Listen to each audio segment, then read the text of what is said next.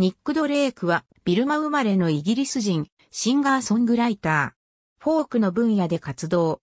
生前は商業的成功に恵まれず、3枚のアルバムを残して他界するが、死後に評価が高まった。ビルマのラングーンで生まれる。父は1930年代にラングーンに移ってきたイングランド人。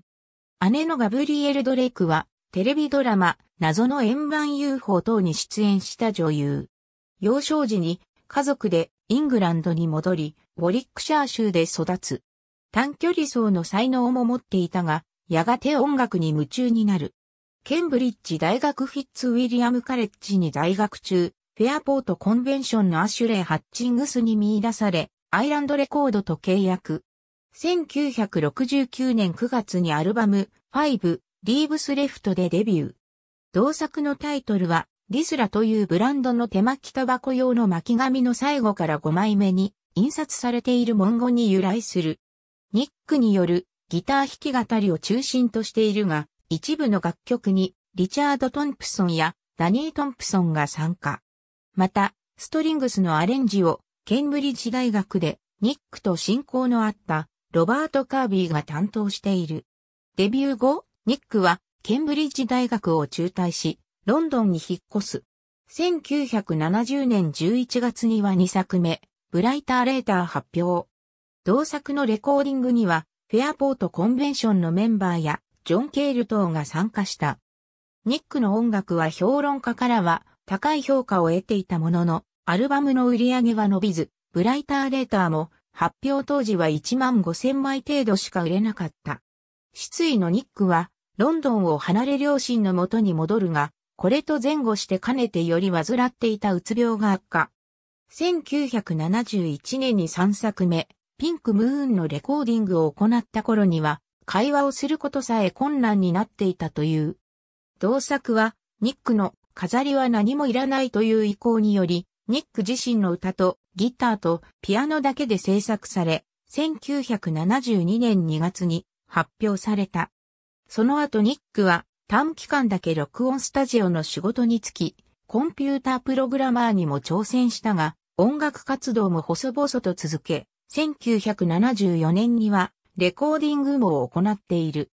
その際の音源は、ニックの死後に未発表曲集、タイムオブノーリップライに収録され、日の目を見た。1974年11月25日、自宅のニックの部屋で、母モーリーがベッドの上で息絶えているニックを発見する。死因は、抗うつ薬の過剰服用。遺書はなく、自殺か事故なのかは明らかになっていない。部屋にあったレコードプレイヤーには、バッハのブランデンブルク競争曲のレコードが載っていたという。1980年代以降、ニックの再評価が高まり、ニックからの影響を公言するミュージシャンも多い。ドリームアカデミーが1985年に大ヒットさせた楽曲、ライフ・イン・ア・ノーザンタウンはニックに捧げられた。また、ブラック・クローズのリッチ・ロビンソンは、ニックの影響でギターのオープン G チューニングを使うようになったと語っている。2000年、NME が当時の現役ミュージシャンからの投票で、最も影響力のあるミュージシャンを選ぶ調査を行い、ニックが9位に選ばれた。また、生前に発表された3枚のアルバムは、いずれも2003年に、ローリングストーン氏によって、オールタイム、ベストアルバム500に選ばれた。2004年には、未発表音源とリミックスを収録したアルバム、メイドトラブマジックが全英アルバムチャートの27位に達した。2006年のアメリカ映画、イルマーレで、ニックの楽曲が使用された。また、ニックの楽曲のカバーとしては、ブラッド・メルドーによる、リバーマン、チャーリー・ハンターによる、デイ・イズ・ダン、マーズ・ボルタによる、シングス・ビハインド・ザ・サン等がある。ありがとうございます。